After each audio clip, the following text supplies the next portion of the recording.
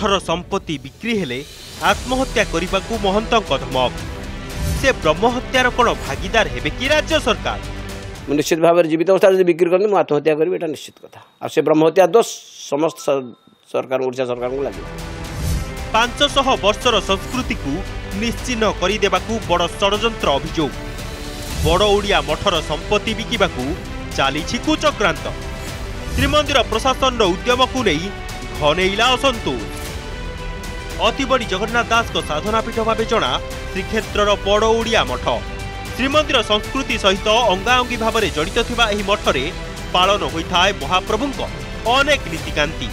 ମହାପ୍ରଭୁଙ୍କ ଜ୍ୱର ଛଡ଼ାଇବାକୁ ପ୍ରସିଦ୍ଧ ଔଷଧୀୟ ଫୁଲୁରି ତେଲଠୁ ନେଇ ମହାପ୍ରଭୁଙ୍କ ପାଇଁ ଅଧର ହାଣ୍ଡି ବି ଏହି ମଠ ହିଁ ଯୋଗାଇଥାଏ। ହେଲେ ଲୋପ ପାଇବାକୁ ବସିଛି ଏହି ପାଞ୍ଚଶହ ବର୍ଷର ଐତିହ୍ୟ ସମ୍ପନ୍ନ ମଠ। ଉତ୍କଳୀୟ ସଂସ୍କୃତିର ପରିଚାୟକକୁ ନିଶ୍ଚିହ୍ନ କରିଦେବାକୁ আরম্ভ হয়েছে ষড়যন্ত্র।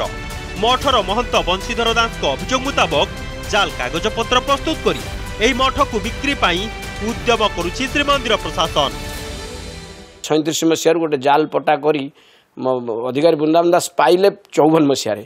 କିନ୍ତୁ ଏମାନେ ତାଙ୍କ ପଟାରେ ଦେଇଛନ୍ତି ବୃନ୍ଦାବନ ଦାସ ତାଙ୍କୁ ଦେଇଛନ୍ତି ଅନେଶ୍ୱତ ମସିହା ପାଇଁ ଚିରସ୍ଥାୟୀ ଲିଜ୍ ଯେଉଁଟାକି ସଇଁତିରିଶ ମସିହା। ତା ଭିତରେ ଦସ୍ତଖତ କରିଛନ୍ତି ଯେଉଁ ଦସ୍ତଖତ ସମ୍ପୂର୍ଣ୍ଣ ଭିନ୍ନ ସମ୍ପତ୍ତିକି ବିକ୍ରି କରିବା ପାଇଁ ଅନ୍ୟ ନିଜକୁ ଟେକି ଦେବା ପାଇଁ ମନ୍ଦିର ପ୍ରଶାସନର ଏଇ ଗୋଟେ ସୁଚିନ୍ତିତ ମତାମ ଯୋଜନା କରିଛନ୍ତି।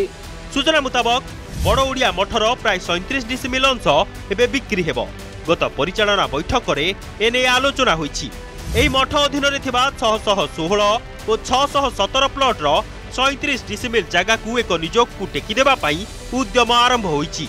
ପୂର୍ବରୁ ଦୁଇ ଦୁଇ ଥର ଏନେଇ ଆଲୋଚନା ହୋଇଥିବା ବେଳେ କିଛି ସଦସ୍ୟଙ୍କ ବିରୋଧ ଯୋଗୁଁ ଏହା ସମ୍ଭବ ହୋଇପାରିନଥିଲା ତେବେ ପୁଣି ଏନେଇ ଆଲୋଚନା ଆରମ୍ଭ ହୋଇଥିବା ବେଳେ ଶ୍ରୀମନ୍ଦିର ମୁଖ୍ୟ ପ୍ରଶାସକଙ୍କୁ ଏନେଇ ତଦନ୍ତ କରିବାକୁ ଅନୁରୋଧ କରାଯାଇଥିବା ସୂଚନା ମିଳିଛି। ସୂଚନା ବାହାରକୁ ଆସିବା ପରେ ମଠର ମହନ୍ତଙ୍କ ସମେତ ସ୍ଥାନୀୟ ଅଞ୍ଚଳରେ ଗଭୀର ଅସନ୍ତୋଷ ପ୍ରକାଶ ପାଇଛି। ବର୍ତ୍ତମାନ ଏଇ ଅଗଷ୍ଟ ଚାରି ତାରିଖରେ ପରିଚାଳନା କମିଟିରେ ଏ ବିଷୟ ଆସିଥିଲା ଆଲୋଚନାକୁ। ସେଥିରେ ଅଁ, ବର୍ତ୍ତମାନ ବିମାନ ବନ୍ଦର ନିଯୋଗ ସେ ଜାଗାକୁ ନେବା ପାଇଁ ରାତ୍ରିକାରେ ଥିବା ବଡ ଓଡିଆ ମଠର ବିଶେଷ ଜାଗାକୁ ନେବା ପାଇଁ ଆପ୍ଲାଏ କରିଛି। ତେଣୁ ତା ବିଷୟରେ ଆଲୋଚନା ହେଇଥିଲା। ପୂର୍ବରୁ ମଧ୍ୟ ଆଲୋଚନା ହେଇଥିଲା।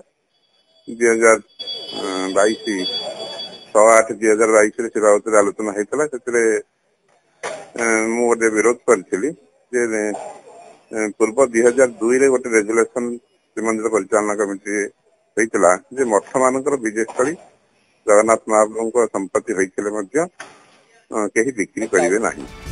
ଦୁଇ ହଜାର ଦୁଇ ପରିଚାଳନା କମିଟି ନିଷ୍ପତ୍ତି ଅନୁସାରେ କୌଣସି ମଠର ବିଜେସ୍ଥଳୀ ବିକ୍ରି ଖରିଦ କିମ୍ବା ହସ୍ତାନ୍ତର ହୋଇପାରିବ ନାହିଁ। ତେବେ ଉଣେଇଶହ ଅନେଶ୍ୱତ ବାତ୍ୟା ପରଠୁ ବିକ୍ରି ହେବାକୁ ଥିବା ସ୍ଥାନରୁ ଠାକୁରଙ୍କୁ ନେଇ ଜଗମୋହନରେ ପୂଜା କରାଯାଉଛି।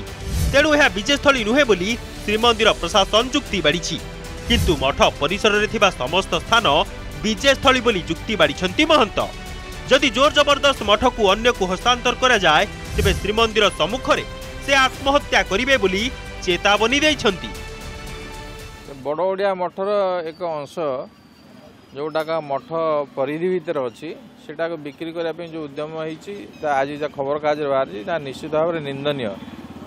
କାହିଁକିନା ଆଇନ କହୁଛି ଯେ କୌଣସି ମଠ ଏହା ଏକ ଜୁରିଷ୍ଟିକ୍ ପର୍ସନ୍ ଏବଂ ସେଇଟାକୁ ବିକ୍ରି ହେଇପାରିବନି ତାକୁ ଭଙ୍ଗା ଯାଇପାରିବନି କେହି କାହାକୁ ହସ୍ତାନ୍ତର କୌଣସି ପ୍ରକାର ବି ହେଇପାରିବନି। କିନ୍ତୁ ଆଇନରେ ହାରିଲା ପରେ ଯଦି ମୋ ଜୀବିତ ଅବସ୍ଥାରେ ସେମାନେ ନିଜକୁ ହସ୍ତାନ୍ତର କରନ୍ତି ବା ବିକ୍ରି କରନ୍ତି ମଠର ସମ୍ପତ୍ତି ବିଜୟସ୍ଥଳୀକୁ ମୁଁ ନିଶ୍ଚିତ ଭାବରେ ଶ୍ରୀମନ୍ଦିରରେ ହେଉ ନଚେତ୍ ଶ୍ରୀନଗରରେ ହେଉ ବା ଶ୍ରୀମନ୍ଦିର କାର୍ଯ୍ୟାଳୟରେ ହେଉ ମୁଁ ନିଶ୍ଚିତ ଭାବରେ ଜୀବିତ ଅବସ୍ଥାରେ ଯଦି ବିକ୍ରି କରନ୍ତି ମୁଁ ଆତ୍ମହତ୍ୟା କରିବି ଏଇଟା ନିଶ୍ଚିତ କଥା। ଆଉ ସେ ବ୍ରହ୍ମହତ୍ୟା ଦୋଷ ସମସ୍ତ ସରକାର ଓଡ଼ିଶା ସରକାରଙ୍କୁ ଲାଗିବ ଅତିବଡ଼ି ଜଗନ୍ନାଥ ଦାସଙ୍କ ଇତିହାସ ସାଇତି ରଖିଥିବା ଏ ମଠ ଓଡ଼ିଆ ଅସ୍ମିତାର ପରିଚୟ।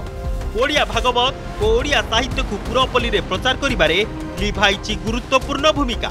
ହେଲେ ଯେଉଁଭଳି ଭାବେ ଓଡ଼ିଆଙ୍କ ଏହି ଗୌରବମୟ ଇତିହାସକୁ ନିଶ୍ଚିହ୍ନ କରିବାକୁ ଷଡ଼ଯନ୍ତ୍ର ଚାଲିଛି ଏହାକୁ ନେଇ ସାଧାରଣରେ ପ୍ରକାଶ ପାଇଛି ଗଭୀର ଅସନ୍ତୋଷ। ପୁରୀରୁ କ୍ୟାମେରା ପର୍ସନ ସନାତନଙ୍କ ସହ ପ୍ରିୟଦର୍ଶନ ମହାନ୍ତି ଓ ଆଲୋକ ଆଶୁତୋଷଙ୍କ ରିପୋର୍ଟ ଅର୍ଗସ୍ ନ୍ୟୁଜ୍।